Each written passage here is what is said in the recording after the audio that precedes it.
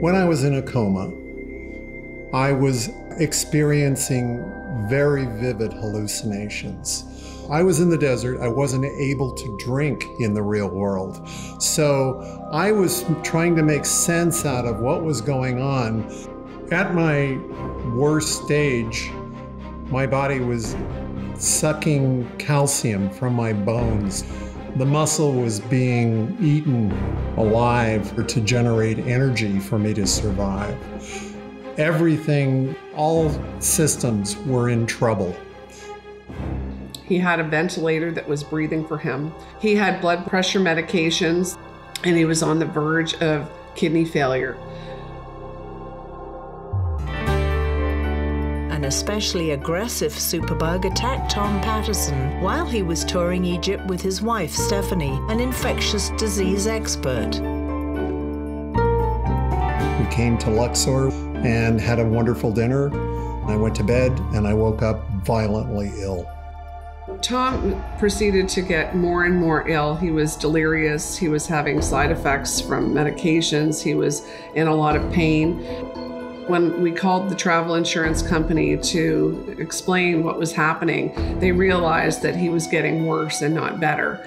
They commissioned a Learjet to pick us up and to take us to Germany about three days later. Within 24 hours of arriving at the Frankfurt clinic, they did an endoscopy inside his abdomen and they saw this giant abscess, a pseudocyst the size of a football, infected with some kind of bacteria. And they took a culture. When the results came back, everyone was terrified. It was Acinetobacter baumannii. At first, three antibiotics worked, but after two weeks, none did. There was nothing left in our arsenal. Tom Patterson nearly died from bacteria so powerful that it survives attack from one of the strongest known antibiotics. No wonder such antibiotic resistant bacteria have won the title superbugs. Superbugs know no boundaries. No one escapes them. Right now, they're thriving in India and China, but they're also present throughout the United States. Annually, 35,000 deaths in the US and 700,000 fatalities worldwide are low estimates because both US and world statistics are unreliable. For decades now, the pharmaceutical industry just hasn't produced enough new antibiotics, our main weapon against superbugs. It's a profit issue. So some would say meeting the superbug crisis is even more an economic problem than a scientific one. Not only does it take about 15 years of really hard work to develop a new antibiotic, it can cost as much as $2 billion or more. I am the ex-chair of an independent review on antimicrobial resistance, which I led for the then British Prime Minister David Cameron. Antimicrobial resistance and antibiotic resistance are a massive global challenge. So they needed somebody that had a voice in this very complex changing world in which we are in.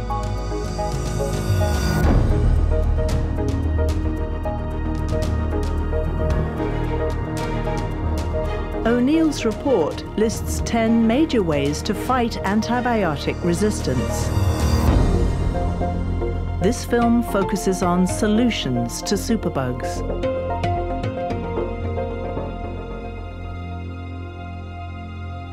We owe our very lives to bacteria, and the vast majority of them keep us well.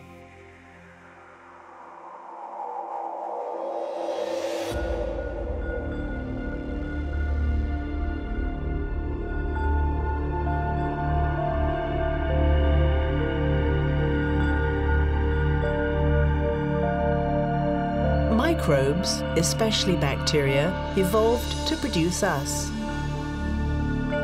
Bacterial cells outnumber human cells in our bodies. Some now say roughly two to one. They're vital to our health and to a healthy environment. Bacteria and other microbes make up our individual microbiomes. They're one-of-a-kind changing ecosystems. These microbes live with us everywhere, inside and out. They regulate our metabolism, affect our moods and thoughts, some think even our choice of friends and partners. Metaphorically, they're part of our DNA, unbalance our microbiomes, and we can get sick, and sick at heart. It's important to keep the bacteria that live on us or in our environment present and not try to destroy them at all, but really try to develop more targeted strategies to go after the bad bacteria that are really causing disease. How exactly do bacteria become resistant? One way is by rare random mutation that occurs when they divide. Most mutations will have no effect, but a very few will allow some bacteria to resist a particular antibiotic. Those remaining, still vulnerable to attack, will die, while the resistant survivors will reproduce quickly and in quantity. The more antibiotics in circulation, the more resistant mutations will occur. It's evolution's law of survival. To exist, at least a few bacteria must morph into true superbugs. And we're focusing on some of the world's most dangerous. A staph bacteria, MRSA, also known as MRSA. Multiple drug-resistant tuberculosis. A resistant strain of gonorrhea. A gut infection called C. diff. Superbugs called CRs, resisting a whole subclass of antibiotics, the carbapenems. India is probably a global epicenter for antimicrobial resistance. I would imagine that every possible kind of major antimicrobial resistance threat exists in India at, at the current time. Antimicrobial resistance, AMR, includes all resistant microbes such as fungi, viruses, and bacteria. We're focusing on ABR, antibacterial resistance. Bacteria are often confused with viruses. But viruses, about 100 times smaller than bacteria, are particles, not cells. They can enter our cells but aren't affected by antibiotics. When we wrongly insist that a doctor prescribe antibiotics for a viral infection, that gives bacteria more chances to become resistant. This is a huge problem. Doctors often relent to patient demands for antibiotics, whether appropriate or not. In the US, superbug infections have doubled over the last decade. In some countries, patients buy antibiotics without prescription. In 10 years, raising their use by 65%. Healthy people get infections. And the idea that resistance is a problem that develops over there, somewhere else, is really wrong. Anybody at any time can come down with one of these organisms.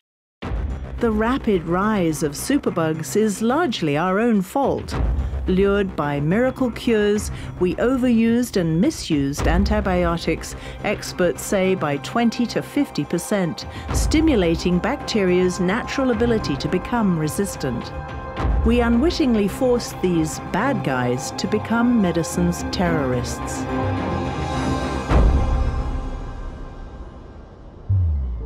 We carry on doing nothing about it, by 2050 there could be 10 million, I emphasize 10 million people a year dying all over the world. And with it, the accumulated economic cost to the world economy between now and then would be a staggering $100 trillion. So, enormous potential loss of life and mammoth lost economic opportunity. Without a doubt, antibiotics are the most powerful class of drug ever invented. They have the ability to take an infection that would have killed you and give you back 40, 50, 60, 70 years of life. I remember taking care of a young man with a, an acute bacterial pneumonia. He felt terrible, and it was remarkable how by dinner time he felt so much better in response to antibiotics. I just that story just always stuck with me. I really liked the power of what you could do with a good antibiotic.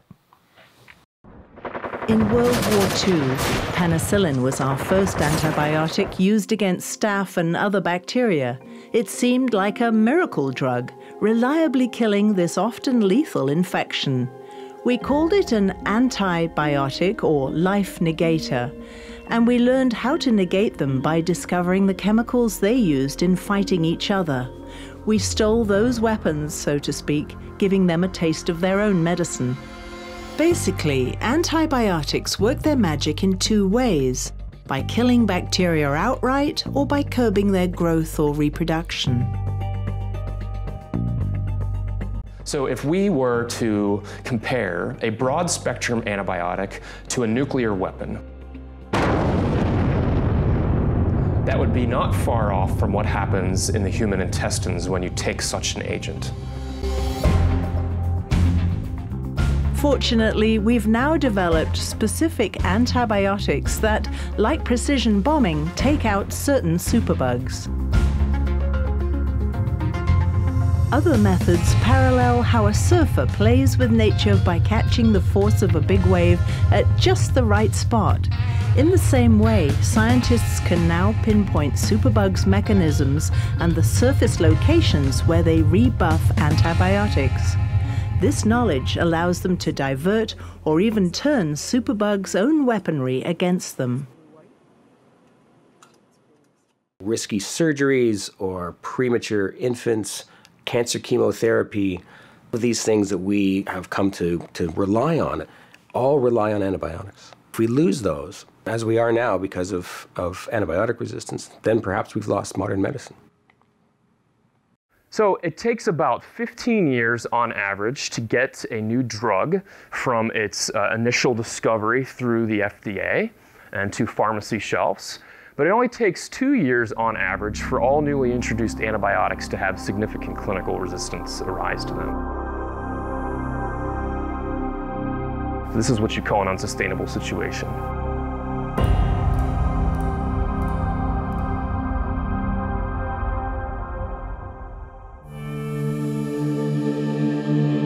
Without a doubt, this is a crisis that we almost don't even begin to understand the proportions of. It's as if we've done massive ecological damage to the planet, to the microbiome of the planet, and we don't yet understand exactly how deep of a hole we're in. Vast unknown areas in both the cosmos and the microbial world are called dark matter.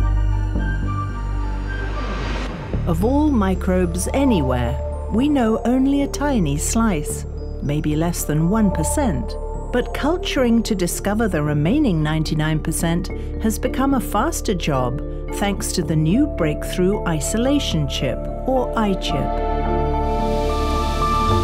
In the lab, petri dishes with man made nutrients can only grow a limited range of known bacteria.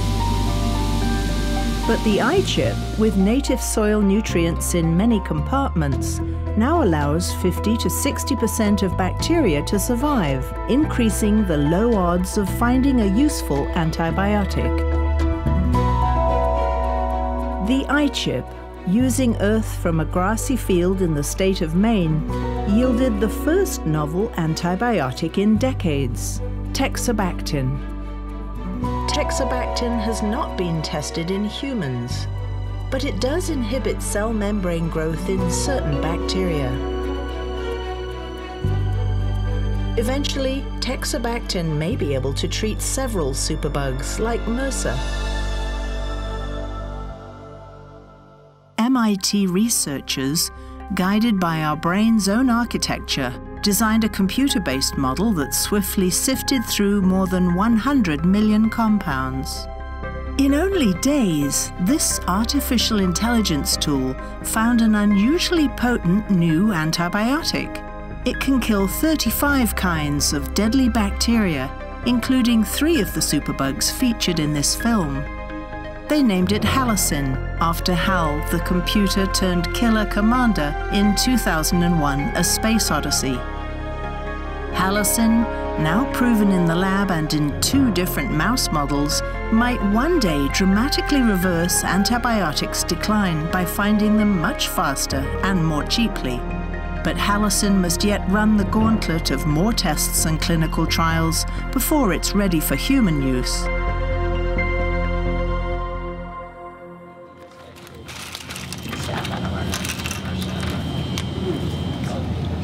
We need a new drug. We need a new antibiotic to take care of these superbugs. The thing is, is we've had so many new antibiotics since Alexander Fleming first discovered penicillin in the 1930s. And each one's been met with the same fate, which is resistance, because each one has been overused, misused, abused. Sometime in the 1940s, shortly after antibiotics were actually introduced into human medicine, somebody figured out that if you give animals low doses of antibiotics, the animals get larger faster. And so it's a shortcut to a market ready animal. So, antibiotic use in, in food animal production in the United States is uh, not transparent at all. And yet, we still allow these drugs to be used in animals as trade secrets. What we do have are rough numbers. Fortunately, since 2017, antibiotics vital to human medicine are no longer legal as growth promoters in animals in the US. And in the last decade, antibiotic sales for US food producing animals have declined by 28%. Yet, an unknown percentage of antibiotics still remains in our food chain. And that's a massive driving force and forcing the evolution of drug resistant bacteria in those animals that can then spread to people through the food supply, through the air, through contaminated water, through soil. Really big uh, retailers like Subway, like uh, Chick fil A, like McDonald's are coming out with these very progressive antibiotic use policies the poultry industry is, is the first group to really start to change on a large scale. That's really been driven by the retailers putting pressure on the producers. The retailers are responding to their customer, which is us, right? The general public. The, the industry has a, a model that they don't think is broken, right? So they don't want to fix it. But from my perspective, it is broken because they're putting all of us at risk. The report card on fast food vendors is changing. Chipotle and Panera Bread now buy non antibiotic fed beef. McDonald's is only average, yet plans to reduce antibiotics in its own beef by the end of 2020. By contrast, fruit and vegetable farmers use less than 1% of all antibiotics, and newly popular veggie burgers have only a fraction of that percent. But raising livestock with lots of antibiotics still remains a huge business worldwide. Animals that are raised organically are not supposed to be treated with antibiotics. If an animal becomes sick, it has to be treated with antibiotics, but then it has to be sold as, as something else, not organic. The Scandinavian countries are among the best when it comes to controlling antibiotic use in animals and in people. And Denmark, I think, is a great example because Denmark is actually a very large food animal producer. They compete with the United States as being one of the top pork exporters. The reason why Scandinavian countries stopped using antibiotics in animals had nothing to do with drug resistance. It had everything to do with uh, consumers finding out that the meat that they were eating had been raised with antibiotics. Unless similar consumer awareness uh, uh, blossoms in India as well, it's hard for producers to unilaterally go out there and try to take the antibiotics out because antibiotics happen to be a cheap substitute for hygiene and nutrition on farms. So, unless consumers demand it, the producers are not going to change the way in which they raise animals. So we see actually antibiotic use going up. Probably a large driver of that is that Brazil, Russia, India, China, South Africa, these rapidly developing countries are adopting our methods of animal production to feed an increasing desire for that Western meat centric diet. So, India leads the world in consumption of antibiotics in humans. China leads the world in terms of consumption of antibiotics in animals. And if you consider the total amount of antibiotics that are used, whether in humans or animals, China is by far the biggest consumer of antibiotics in the world. Both countries are making an effort to deal with antimicrobial resistance because it is such a big threat. But uh, I would say they have a very long way to go still. They call it Iraqibacter because so many of the uh, soldiers coming back from Iraq ended up with this particular infection. When Tom was sick in Frankfurt, I called back home to a colleague of mine, Dr. Chip Schooley, who's the head of infectious diseases. Chip knew Tom's situation and could tell that this infection, Iraqibacter, was likely to weaken him uh, to the point where he would be deathly ill. He said, Here in San Diego, we're close to the VA hospital. We have more Iraqibacter than we can shake a stick at. Tom came back not to the San Diego VA hospital, he came back to UCSD Health, which is our uh, the university hospital here. Our infectious disease division does consultations in both hospitals. In focusing on solutions, we track five of the most dangerous superbugs. But before exploring these, we must consider the best solution of them all prevention. The first line of defense is infection control and prevention. Clean food, good water that's safe, good sewage systems. The second line is to only use antibiotics when they're needed and not to waste them.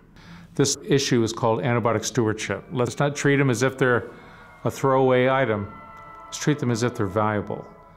For years, hospitals, relying too much on antibiotics, have let sanitation standards slide. But now, Medicare has begun to fund hospitals by rank, based on their infection and mortality data. In Europe in 2015, hospitals in Estonia and the Netherlands led in the superbug fight. Today in Amsterdam, Vrije University's state of the art medical center strictly rations its use of targeted antibiotics. This center also stresses a host of cutting edge sanitizing methods. In the Netherlands, we have a very low prevalence of uh, highly resistant microorganisms. And uh, part of this is because we have very stringent infection control rules. For MRSA, for example, this center employs a screen and destroy policy. Uh, we also screen patients uh, at high risk that come from other uh, hospitals abroad, and we isolate these patients. Used mattresses undergo what this center calls a thorough dishwasher process.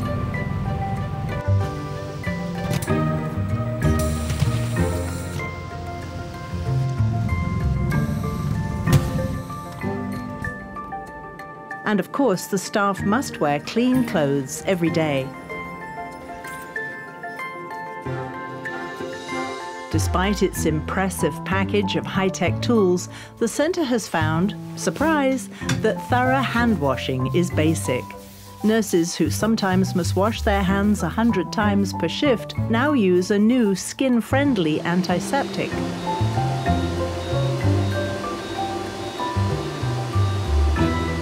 Rigorous high-tech cleaning, such as sterilizing UV light, kills most bacteria. But antibacterial soap, toothpaste or hand sanitizers, though effective short-term, longer-term can stimulate resistance. Rapid diagnostic machines help bridge the gap between prevention and infection. Silicon Valley's Cepheid is a leading producer of such devices. Their breakthrough bacterial identification sets new norms for both fast and targeted antibiotic use. traditional methods often take two to three days. The GeneXpert allows us to take a specimen from a patient and look for the presence of microorganisms that can cause disease directly in that specimen using the nucleic acid of the organism as a target and to identify that organism in often 30 minutes or less. The beauty of the GeneXpert is really in its simplicity. You take a cartridge, you have your sample, you add it to the cartridge, close the lid, put it in the instrument, and in 30 minutes to an hour, you get your answer. It is so simple that it can be run by virtually anyone with a minimal amount of training, even in high burden developing countries. Cepheid's Xpert Xpress test for easy rapid detection of the virus that causes COVID 19 has just received emergency use authorization from the FDA. In about 45 minutes, healthcare workers will be able to get results whether patients have symptoms or not getting Google for doctors or state of the art diagnostics so that we can allow doctors to objectively have evidence as opposed to a very educated guess, I think could be the single biggest game changer. When I arrived in San Diego, the focus was on my football sized pseudocyst infected with Iraqibacter. The doctor said, we have two choices. We can do surgery and remove this. But it would risk spilling this superbug into his bloodstream and he could die because there's no antibiotics to, to treat it. My infection was resistant to any antibiotic, and Stephanie asked the doctors, Is there some reason that you're pumping all these antibiotics into him? And they said, Oh, that's just to make us feel better. January 19th, 2016 was the longest day of my life. When this drain inside Tom's abdomen slipped and it spilled this Iraqibacter into his bloodstream, he went into septic shock. They had to put him on a respirator. They put him into a medically induced coma for several days so that he could gain strength. But he never woke up from that. In fact, for the next two months, he started to slip away from us. It was clear that he was extremely ill, both chronically and acutely, and that it was going to take quite a bit to get him back on his feet. My doctor friends said, We're doing all we can, but all of the modern miracles of medicine can't save him at this point. Tom's case was uh, unfortunately not a rare case, it's one we see way too often. During my experience of hallucinations and this particular hallucination, I was a snake in a play documenting my own death. And at that moment, Stephanie asked me whether I wanted to live. And as a snake, I was able to curl my, my body around her hand, which took me a, a lot of effort. Even though he was in a coma, I thought maybe he could hear me. And I held his hand and I said, honey, I know that you're trying really, really hard to stay alive and that you're very tired. And if you want to fight, I'll look into alternative treatments because there's nothing that they can do to kill this thing. So if you can hear me and you want to live, please, please just squeeze my hand. And he squeezed my hand.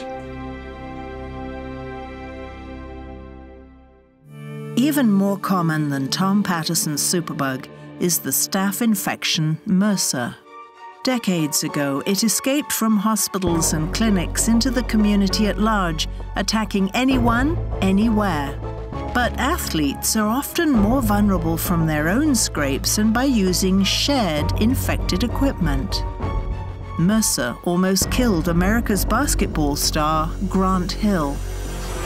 Denied again by Lou Amundson comes away with his third swat. Grant Hill, one for the Facebook, stuffing it home. Nice. Out of the blue, my my body started shaking. And so my wife came in and I think she thought I was being dramatic. Eventually she got a thermometer. She thought this can't be right. So she got another thermometer. So I think she went through four or five of them, and they all kind of said, you know, 104.3, 104.45, 104.5, just in that sort of range. She drove me to the to the hospital. We actually went to the wrong hospital. that's when even then I realized, okay, this is this is more serious than I even I thought. When I got to a room in intensive care, there were about 10 doctors around me.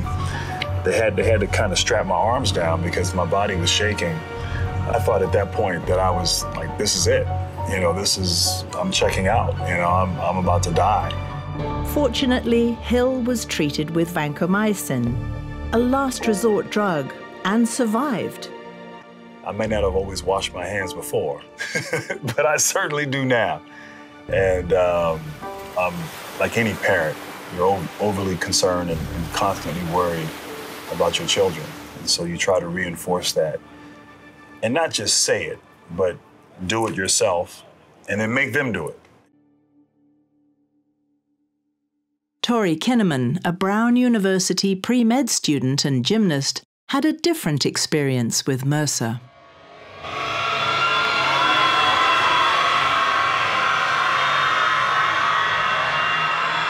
But then the pain just spread throughout my entire body. I was shaking uncontrollably. My otherwise very healthy 19 year old student athlete who was never sick as a child was sick.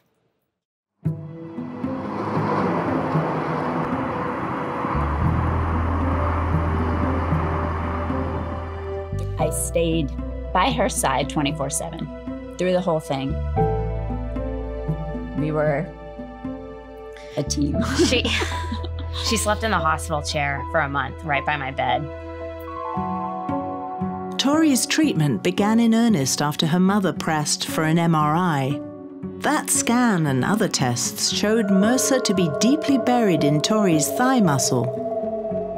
A 20 inch incision in Tori's thigh had to remain open for a series of eight surgeries. Tori recovered at home, but returned to Brown in her sophomore year, ready to avenge MRSA by studying its effects on young athletes. Dr. Mylonakis, a physician researcher, took her into his lab. Our research focuses mostly on the treatment of MRSA and also uh, in the treatment of resistant infections. We're using a very different approach in our antimicrobial drug discovery. Worms react to bacterial infections much as we do. Mylonakis quickly injects quantities of infected worms with many experimental compounds, testing thousands at once.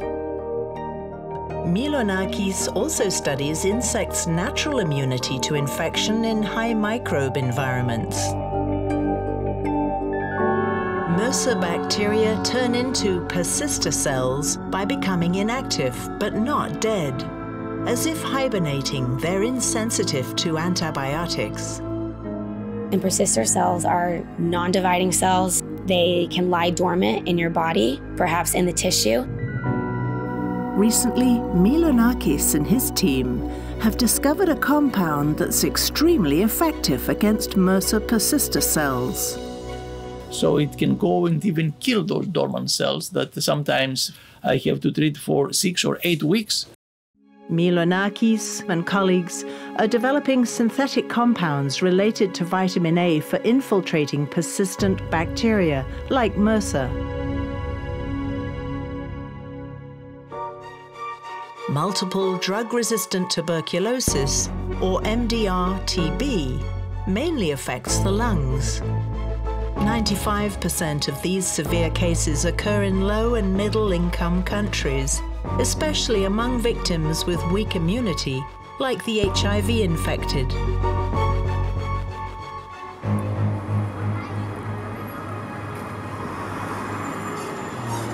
Examinations take place in negative pressure rooms, noisy with equipment that filters out airborne TB bacteria. And this is a very smart bacteria. Uh, you get the infection, you won't feel ill, uh, you will be developing disease in your lungs, you will become infectious, and only after that you will start having very slight symptoms. So by the time you are diagnosed, you have transmitted the infection to about 20 other people. So the bacteria doesn't care if you die because they now have other 20 hosts. Tuberculosis doesn't care about political borders. If our region has high rates of tuberculosis, the rates of tuberculosis in San Diego and California will be higher than the rest for the US. Dr. Laniado's clinic is a referral center for drug resistant TB patients from all over Mexico. We just finished a study here in new cases, and 3.9% of the new cases had MDR, which is extremely high. When they come here, we test them. Once we have the results, we have to tell the patient they have drug resistant tuberculosis, and they will be happy to be taking drugs for 18 to 24 months. I would say maybe 90% of them finish treatment, which is amazing because drugs are very toxic, many very um, uh, severe side effects. So treatment, if I have to de- um, define it by one word, it, word it, it's hell. Juanita, not her real name, lived through this hell. Juanita arrived at the Tijuana clinic with MDR TB. Constantly coughing, she had lost 15 kilos, over 30 pounds. She felt like she was going to die. She had injections and lots of pills. The side effects were terrible headaches, dizziness, vomiting. At most, she could only sleep four to five hours a day. Despite her grueling treatment over 18 months at the clinic, Juanita is now well again. A new antibiotic, Pretomanid, used with two other drugs, now shortens MDR TB treatment to only six months. Gonorrhea is now resistant to antibiotics in most parts of the world. In fact, uh, we're now back at the stage that we were in 1920 when we had practically no drugs to treat gonorrhea. It's actually the second most common sexually transmitted disease right behind chlamydia. And in the United States alone, there are over 350,000 cases. Antibiotic resistant gonorrhea typically moves from Japan to Hawaii and then usually hits the West Coast. So, California and the whole western seaboard, including as well as British Columbia. It's only a matter of time before multi-drug resistant gonorrhea hits our shores. Gonorrhea patients insist on total anonymity. Women, more often than men, may have no symptoms, but still be the unknowing and unsuspected carriers of this infection. Not long ago, Quebec reported that a 23 year old heterosexual woman with no symptoms was found positive for MDR gonorrhea. Fortunately, two other drugs cured her. But if she'd not been tested and treated, her serial sex habits would have made her a highly infectious carrier to unsuspecting new partners. So I think the average citizen should get out there and be as honest with their provider as they can to get the screening test that they need. Happily, four new antibiotics that treat drug resistant gonorrhea are in phase 3 clinical trials. Once at this last and largest testing phase, about half of all drugs get FDA approval.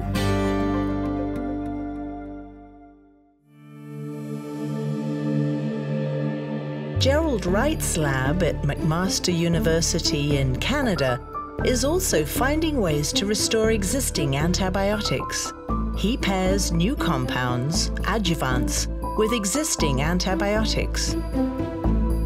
Wright, a veteran antibiotic researcher, himself came down with a resistant bacterial gut infection on a trip to Europe.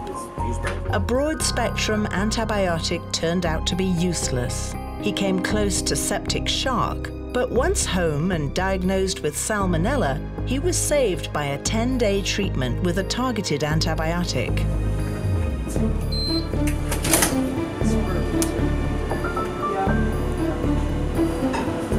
Where I'm at, I actually have this salmonella in my lab.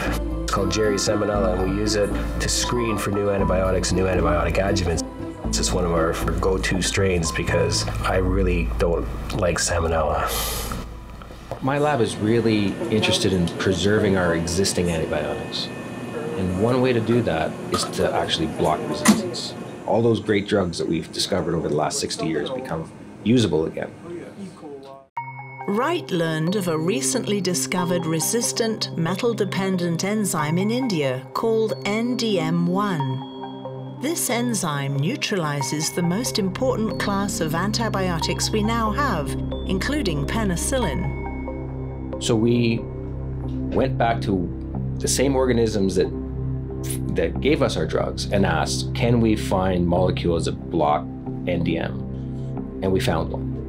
And that molecule is called aspergillomarasmine A, which we call AMA for short. What was the magic? NDM1 needs zinc. AMA picks the zinc out of the enzyme. It's an elegantly simple mechanism. Remove the zinc, antibiotic work. Very simple. Sorry. So now what we're trying to do is find uh, molecules that block all the other resistance mechanisms. The many antibiotics Schooley and his team tried on Tom Patterson did not work. But after Tom squeezed Stephanie's hand to say, Yes, I want to live, she immediately began to research alternatives. And within an hour, I found phage therapy, bacteriophage therapy. What the heck is that? The US has used bacteriophages, phages for short, only on animals. But for decades, Eastern Europe and Russia have been treating humans with phages.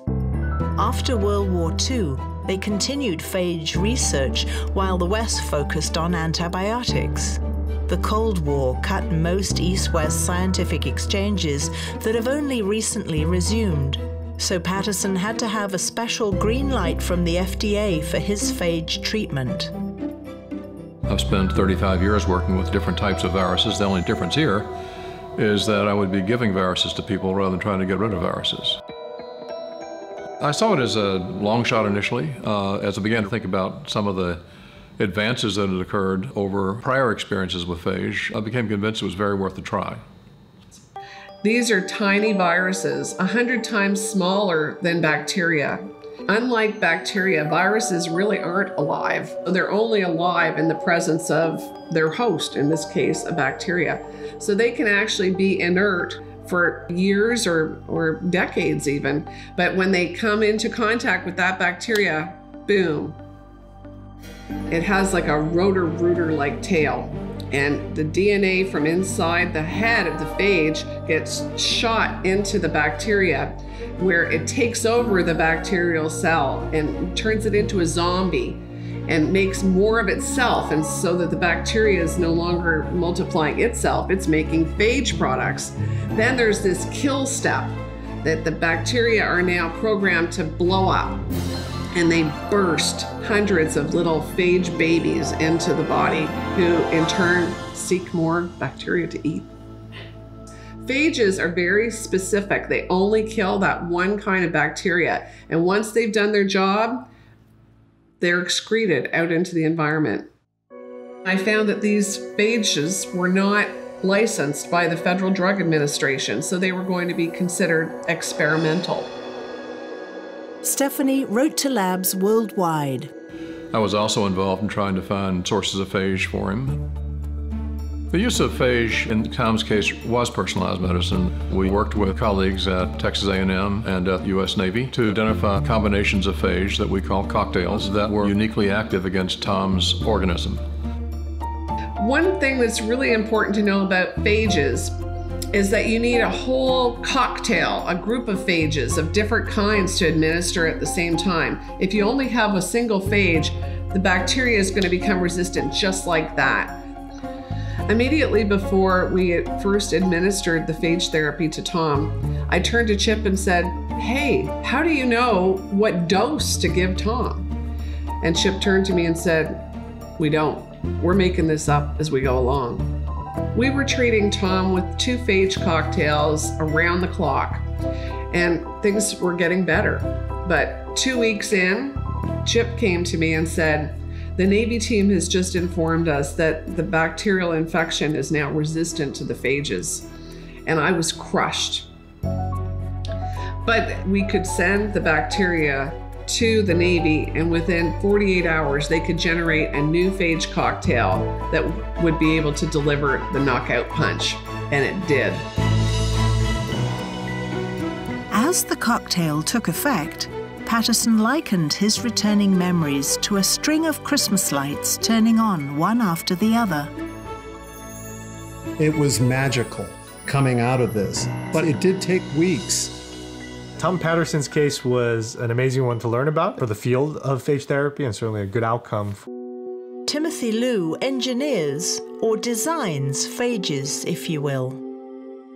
Lu's lab adapts two ways of targeting superbugs more precisely than using phage cocktails. We can engineer these bacteriophages to produce enzymes that chew up the biofilm protective layer that these bacteria like to live in. Antibiotics can then finish the job. Lu's second approach uses CRISPR, a gene editing method. Enzymes cut out, add, or tweak the bacteria's resistance genes, like cutting and pasting words on a computer. No antibiotic needed. I'm quite optimistic that bacteriophage therapy will start making its way into clinical practice over the next few years. Lu's research bridges antibiotic and non traditional therapies. Non traditional methods, preferred for avoiding antibiotics, can delay or even eliminate resistance. One non traditional therapy is used against the gram positive spore C. diff. C. diff can be fatal, especially for those 65 and older. C. diff spores are everywhere around us and in us. 1 to 3% of the healthy population is always carrying C. diff in their gut. Good bacteria keep it suppressed. But when antibiotics kill bad bugs, in Christie's case for breast cancer treatment, they can also kill beneficial bacteria. C. diff spores then seize their space. Absolutely lost a lot of weight. I lost probably 15 to 20 pounds. Um, no appetite whatsoever. It was easier not to eat because there was so much cramping involved and pain. Dr. Neil Stollman successfully treated Christie two or three times with antibiotics. But when he stopped, the infection came back. 20% of all C. diff patients respond in the same way Christie did. For such cases, Stollman and other doctors resurrected an ancient Chinese remedy. When animals and kids were fed poop, orally ingested fecal matter, they recovered. They call it fecal microbiota transplant, or FMT. A healthy donor's fecal matter implanted into the patient's gut fills the space C. diff bacteria could occupy. The job's done by either a colonoscopy or by taking so called poop capsules or crapsules. 80 to 90% of patients recover. And now, over the last decade, it's really exploded. There are there are at least 100 docs in this country currently doing so. There are thousands of patients that have been treated and reported in a very scientific way. I can't imagine if there wasn't a fecal transplant. I went through this experience the whole time, knocking on wood, wishing, hoping, for, you know, for good luck, because there really isn't any other solution out there. The biome is the problem forget giving another antibiotic to the patient, let's actually fix the biome. A poop transfusion is the least elegant intervention in the world, but it just recognizes that it's the only intervention I currently have. Fecal transplants and crapsules may soon have competition. A new C. diff targeted antibiotic is in a phase 3 trial ridinilazole stops C. diff cell division without the damage done by previous antibiotics to the patient's gut microbiome. Probiotics might be called another non traditional therapy. Sold over the counter, these microbes help with some intestinal, vaginal, and urinary tract infections, among others. But probiotics are not yet clinically proven antidotes to superbugs. Tom Patterson's superbug was extensively drug resistant.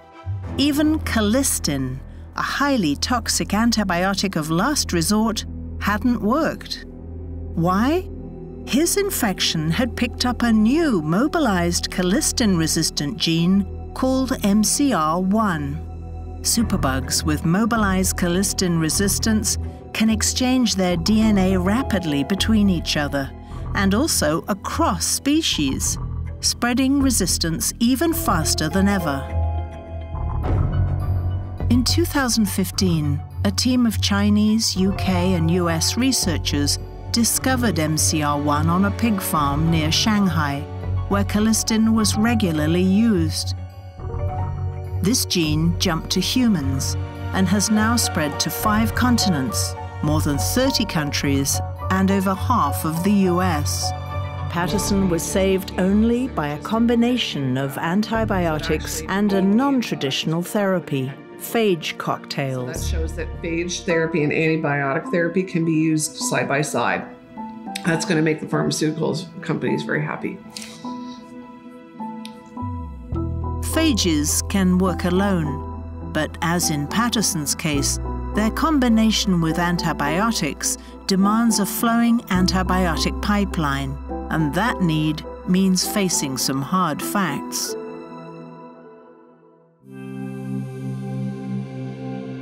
The business model for antibiotics is broken. There's no way for a company to legitimately make good money in this field.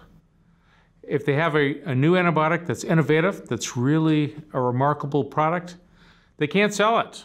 It's required to remain on the shelf because public health requires that we save it for a rainy day. And that's what's happened since the 1980s in antibiotics. And as a result, the companies have moved on to something else. There's lots of other drug categories in which they can make a lot more money. Pharmaceutical companies are among the most profitable of all industries in the world and often reviled for price gouging. But with antibiotics, they have hemorrhaged money. Newer, higher priced drugs for chronic conditions are often prescribed for a lifetime. But normally, older, lower priced antibiotics are taken for only days, severely limiting profits. How do we force or entice pharmaceutical companies to get back into the game of antibiotic resistance? If you gave them a big reward, which would cover virtually all, if not more, than the necessary costs of the hard work of producing new antibiotics, perhaps that might do it. Besides rewards to subsidize new R&D, O'Neill's report proposes delinking antibiotic prices from the classic supply and demand model. Lower prices keep antibiotics affordable for everyone. Lower quantities limit resistance and ration them for the very ill, a need almost unique to antibiotics. Once the delinkage issue is accepted, we then need to, of course, focus on what is the right price. It can't really be left just to pharmaceutical companies. The World Health Organization is going to have to play a, a, a noisier, bolder role. Now, certain emerging countries, particularly those that are big with more than a billion people, like China and India, I'm pretty sure they're going to have a view themselves. When antimicrobial resistance went to the United Nations, it was only the fourth time ever that a health topic had been discussed by heads of state. Only the fourth time ever. That reflects the seriousness with which the political class takes antibiotic resistance. All 193 UN member states unanimously signed on to make two year studies of the superbug crisis in their countries. UN assemblies can agree all sorts of things, but turning that into reality and dealing with the underlying issues, that is harder. The UN will reconvene again on antibiotic resistance to see whether all these countries have actually done what they said they were going to do. Over a decade, to solve all of it requires $40 billion, which is a huge amount of money. on one level. But in the world in which I come from, which is a world of global finance, it's not that much. It's less than one tenth of a percent of global GDP. As an old hedge fund of mine said when I explained this to him, $40 billion to save the loss of 100 trillion, he said that's a return of 2,500%. And he joked that even Warren Buffett would be proud of that.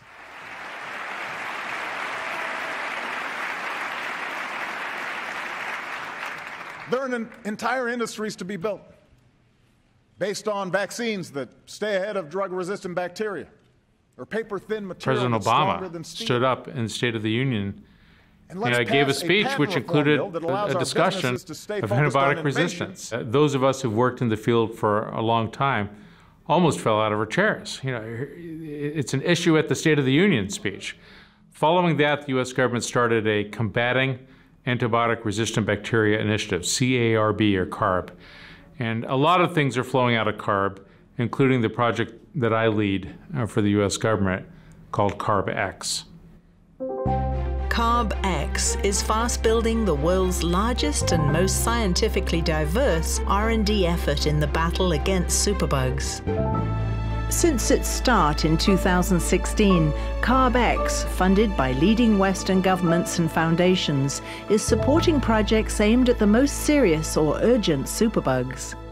And so we're, we're investing in a, in a broad portfolio of, of brand new traditional antibiotics, but from entirely new classes, as well as, as things that are very non traditional that have never been approved by the FDA, uh, things like a microbiome or, or phage therapy as well it's a numbers game. You have to have a lot of shots on goal to score in this field. And the earlier and the riskier and the more ambitious you are, the lower those chances get.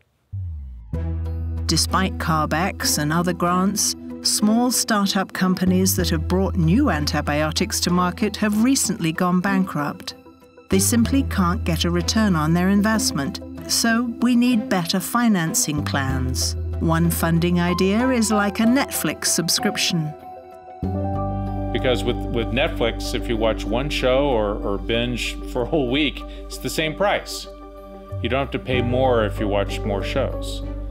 So the idea behind the Netflix model for antibiotics would be that a country like the United States would pay a fee to the company.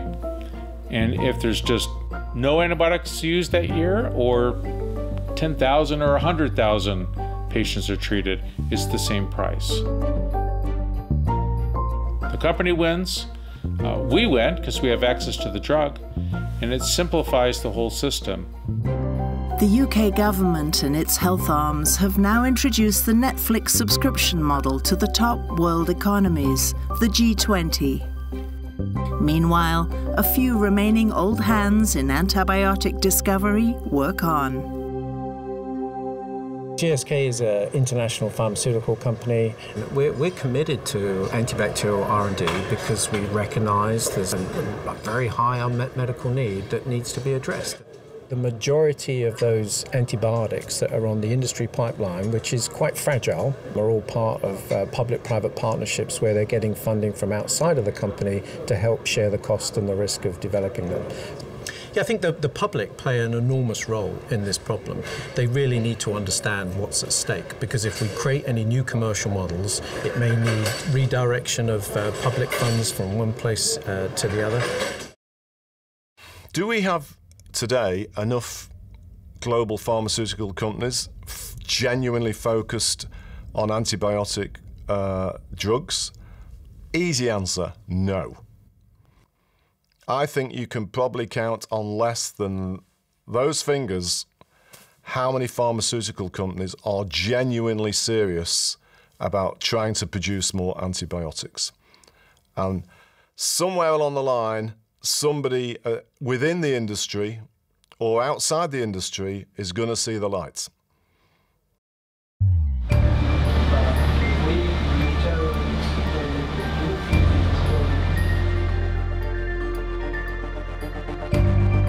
As the late Nobel laureate Joshua Lederberg once said, it's our wits against their genes.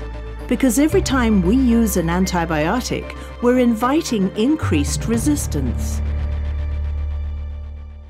Tom Patterson's extensively drug resistant superbug exemplifies this rising danger. With a 50% death rate, no wonder these superbugs have been called the nightmare bacteria. Fortunately, there's a new antibiotic in a phase 3 trial that could eliminate this nightmare. The Food and Drug Administration had a public workshop focused on phage therapy. There, Tom's case was described as a paradigm shift in the field. Tom today is doing really, really well. He's uh, back at work, except he's uh, slimmed down about 100 pounds. He has not tried to go on the road promoting losing weight this way, but I think he's pleased about how things are going overall. At the University of California, San Diego, Robert Schooley and Steffanie Strathdee now co-direct a new center for phage research. Under the FDA's Compassionate Use Program, the center already gives people without other options, like Tom Patterson, access to phage therapy. You have ways as a, as a person, as a patient, and as a consumer to reduce your, your footprint of antibiotic use in the world. If you have a viral infection, don't go to the doctor and demand antibiotics because it's not appropriate. Antibiotics don't work to kill viruses, they only work to kill bacteria. There's many, many different solutions that are out there, but without research to conduct the trials that we need to have done, we're not going to be able to move ahead. Uh, this is not the sort of thing that you'll wake up tomorrow and you'll have news like you know the coronavirus from China that suddenly emerged.